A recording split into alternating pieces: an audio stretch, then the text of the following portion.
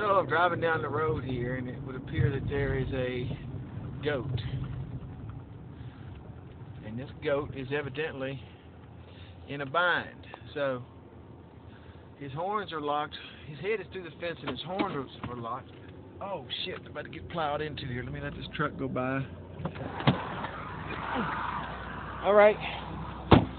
Operation Rescue the Goat. All right, let me see. Hold on here, buddy. Hold on. Easy does. Uh, right. Easy does it. There's one horn up.